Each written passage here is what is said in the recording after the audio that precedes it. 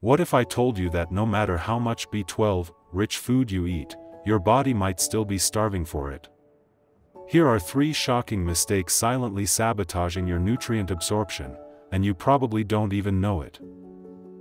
Mistake number 1 Skipping stomach acid. B12 needs stomach acid to break free from food.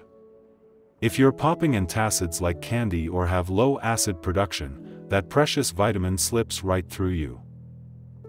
Mistake number 2 Ignoring intrinsic factor. This protein, made in your gut, is B12's VIP pass into your bloodstream. Without it, thanks to conditions like pernicious anemia, B12 gets lost at the door.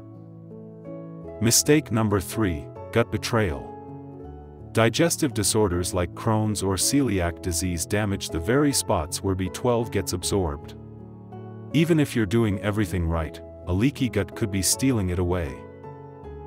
So before you blame your diet, check these hidden thieves. Are you guilty of any?